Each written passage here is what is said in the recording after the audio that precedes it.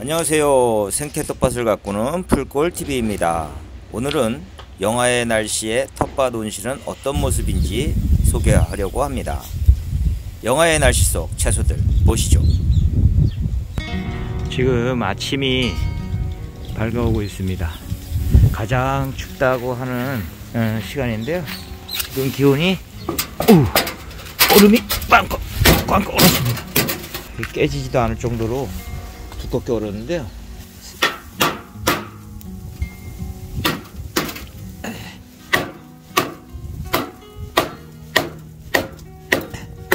아침에 영하 4도까지 내려가서 꽝꽝 얼었습니다. 온실안은 어떤지 한번 들어가 봐서 어, 확인해 보도록 하겠습니다. 이중 온실로 지었고요. 안에는 지금 이렇게 영하로 내려갈 때 간단하게 난방을 했습니다. 밤사이 바람도 많이 불고 예, 체감 온도도 굉장히 낮았던 것 같아요. 자, 들어가겠습니다. 이중 커튼을 열고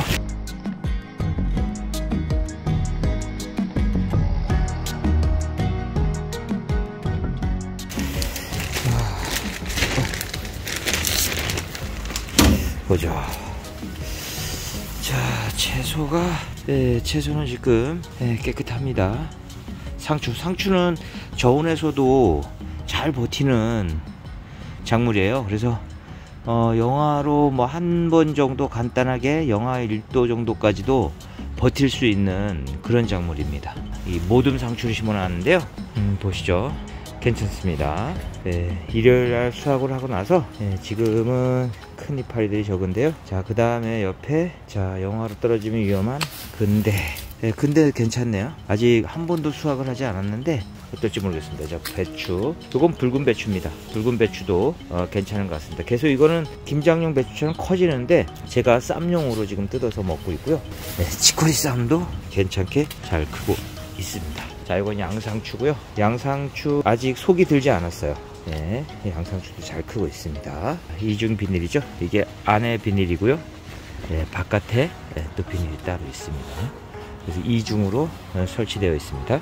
여러 가지 화초들. 이런 화초들을 지난해까지 거실에서 겨울을 보냈어요. 근데 온실을 만들었더니 집 안이 훨씬 좀 깨끗해지고 좋습니다. 아직까지는 예, 괜찮은 것 같습니다. 꽃대도 예쁘게 잘 올라오고 있고요.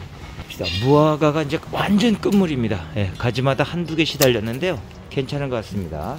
언제까지 무화과를 먹을 수 있는지 예, 제가 해보고 있는데 어, 지금까지도 가능하긴 하네요. 뭐 크게 그렇게 맛이 좋거나 상품성이 있을 정도로 그렇게 좋진 못하지만 괜찮습니다. 선인장도 장군 선인장도 괜찮고요. 고무나무 위에는 사이머시켓인데 아직 이파리가 예, 떨어지지 않았어요. 이런 것들은 월동을 이파리를 떨구고 눈을 만들고 해야 되는데 아직까지 그렇게 되지는 않았습니다.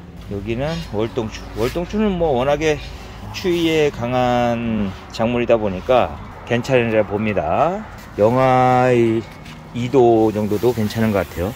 근데 재밌는 건 옆에 감자가 어떻게 싹이 하나 올라와서 크고 있는데 예, 감자가 잘 크고 있어요. 참 신기합니다. 자, 그리고 이건 시금치. 시금치도 저온에서 잘 자라는 식물입니다. 그래서 텃밭 온실 안에는 주로 저온에 잘 견디는 작물들을 심어서 관리하고 있습니다. 요거는 목수국인데 꽃잎이 적긴 했지만 그래도 한번 보고 있습니다. 이것은 멀칭을 하지 않고 그냥 토양에 심었는데요. 보면은 잡초가 올라오고 있어요. 이 한겨울에 잡초를 매야 되는 상황이 생겼습니다. 해충으로는 민달팽이가 기어다니면서 잎을 예, 갉아먹고 있고요. 그래서 보이는 대로 잡고는 있는데 예, 쉽지는 않습니다. 그 다음에 잡초로는 뭐 별꽃아제비, 아메리카 귀화종인데요. 뭐 별꽃아제비가 잡초로서는 주종을 이루고 있습니다. 지금 식물들이 안전한 것 같습니다. 야, 밖에 온도는 영하 4도까지 내려갔고 얼음도 약 손가락 두께만큼 얼었었는데 예, 안은 괜찮은 것 같습니다. 안에는 그냥 난방을 하지 않은 상태는 아니고요. 간단하게 난로를 피우고 있습니다. 예, 이 난로 하나 정도로 해서 예, 난방을 하고 있습니다. 온실이 작다 보니까 예, 가능하고요. 그 다음에 또 난로 역할을 하는 것이 또 있죠. 예, 그건 뭐냐 하면 예, 이 물통입니다. 2톤짜리 물통인데요. 이곳에 물을 가득 담아 놨습니다. 그래서 10도짜리 난로가 여기 지금 하나 피워져 있는 거나 똑같거든요. 이 물통이 예, 물을 주는 역할도 하지만 난로 역할도 해줍니다. 한낮에 온실 온도는 오후 3시쯤 됐는데요. 23.5도, 약 24도 가까이 지금 온도가 올라가 있습니다. 자, 지금 수온이 몇 도가 되는지 한번 체크해 보겠습니다. 예, 이쪽 물통에 이 선까지 지금 물이 차 있는데요. 예, 지금 여기 결로가 생겼죠. 온도 차이에 의해서 결로가 생기는데요. 결로는 항상 따뜻한 쪽에 생깁니다. 그러니까 지금은 24도보다 물의 온도가 한참 낮기 때문에 이 바깥쪽으로 이렇게 결로가 생긴 겁니다. 그 반대로 밤에는 어, 온실 온도가 낮아지고 어, 물의 온도가 높아지니까 물통이 난로 역할을 할 수 있는 거죠. 통에 담궜던 온도계를 꺼내서 온도를 한번 15.5도 정도 되네요. 수온이. 자, 그러니까 15.5도 정도 되니까 밤에 바깥 기온이 영하로 떨어지게 되면 영하로 떨어지지 않더라도 10도 이하로 떨어지게 되면 담겨져 있는 이 통이 난로 역할을 해주는 겁니다. 그래서 하우스의 온도를 영하로 떨어지지 않게 해주는 역할을 합니다. 그래서 실제 난로를 가지고 열을 올려주는 방법도 있지만 이렇게 물통을 이용해서 온도를 유지해 주는 방법도 있습니다. 그래서 하우스에 물통을 설치할 때 좀 생각보다 조금 더 큰 물통을 설치하면 좋습니다. 그리고 이 물통에서 물을 받아서 식물에게 주, 게 되면 식물이 성장하는 데도 도움이 되겠죠.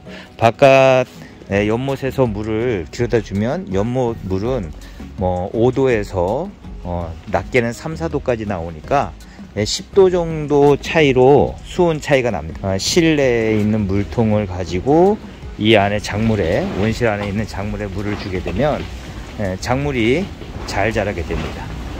그리고 난로는 지금까지 몇 번 뗐어요. 근데 오늘은 떼질 않았거든요. 난로는 떼지 않았는데 그런데도 안에 온도가 아, 몇 도까지 유지가 되었냐면 아침 온도가 5.5도까지 유지가 됐습니다.